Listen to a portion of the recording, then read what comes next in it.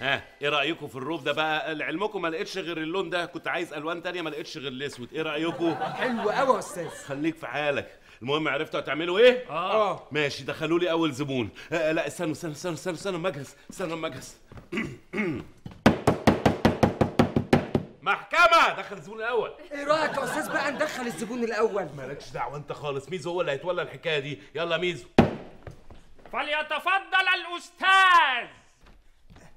إيه ده آه أنا بصراحة مش مصدق الإعلان ده. يعني يعني ده حضرتك مكتب محامي ومطعم فول وطعمية في نفس الوقت. أيوة يا سيدي هو كده بالظبط. حضرتك هتشتري كوباية فول أو علبة فول بجنيه تاخد ساعتها فوقيها استشارة قانونية بخمسة جنيه على طول. آه حس كده بقى. آه اتفضل حضرتك. عايز بجنيه فول وبخمسة جنيه استشارة محاماة. آه حضرتك هندي لك حاضر بجنيه فول. ولا ميزو آه بجنيه فول آه في علبة ها؟ تحب نحط لك حضرتك فوق الفول شوية دمغة؟ أي حاجة حضرتك المهم تدبرني. آه أصل أنا كده بصراحة عايز ارفع قضية على مراتي. آه عايز ترفع قضية على مراتك. حلو. آه حضرتك بتشتكي من إيه بالظبط؟ قرفاني ومنكدة عليا عيشتي ليل ونهار. معلش يا سيدي كل الستات كده استحمل.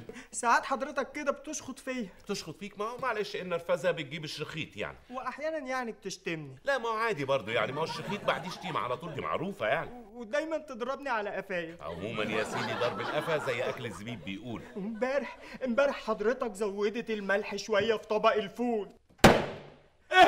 زودت الماء. لا لا إلا الفول. لا ينفع ابدا حد يلعب في الفول ما دام زودت الملح. طلقها يا أستاذ. ما أنا دلوقتي حضرتك لو أنا طلقتها هتبقى حاضنه وهتاخد الشقة والعفش والنفقة وأنا هيتخرب بيتي في المصاريف وهتسجن. آه أنت خايف تتسجن ولا يهمك. يا ناس يا اخوانا لازم هذا الرجل ياخذ حقه لسبب بسيط جدا إن هي الست حاضنة ومش عارف إيه وبتاع. بص أنا أقول لك على فكرة كويسة قوي وقانونية جدا. حضرتك تاخد العفش اللي أنت كنت شاريه طبعا أكيد أنت دافع فيه دم قلبك. تاخد العفش ده تهربه من الشقة وغير لون باب الشقة. وأقول لك غير باب الشقة كله. لا اغير باب الشقة ليه؟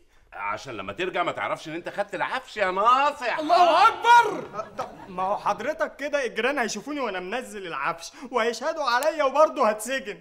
آه ولا يهمك ولا يهمك. أنا كل الحاجات دي عندي حلول كويسه قوي ليها بص هقول لك فكرة هايلة قوي انت تجيب حبال من اللي هي النوع الضخم قوي ده وتربط العفش كله بالحبال ومن البلكونة تقوم مدلدل العفش مدلدل العفش وتنزل بسرعة وانت بتدلدله من فوق تقوم نازل بسرعة واخد العفش كله حاطه على العربية وتجري على طول. الله عليك يا أستاذ. يا سلام عليك يا عبقري. طب ما أنا حضرتك كده ممكن الحبال بتاعت العفش تتلعبك بحبال الغسيل ويقع العفش على الأرض متدشدش 100 حتة وبرضه هتسجن. آه يبقى أنت كده الحلول الوديه ما تنفعش معاك. ما ينفعش معاك حلول باردة لازم معاك حلول حامية. ويبقى إيه الحلول الحامية دي؟ آه سألتني. سألتني إيه هي الحلول الحامية؟ بص يا سيدي انت هتجيب فوطة مبلولة غرقانة مية وتيجي على مراتك بعد ما هي تنام تمسك الفوطة وعلى مناخيرها تخنق تخنق تخنق لغاية ما تموت خالص. طب ما أنا لو حضرتك لو عملت كده هي هتموت وأنا برضه هتسجن. لا يا ناصح في الحالة دي أنت مش هتسجن. أمال إيه؟ انت هتتعدم.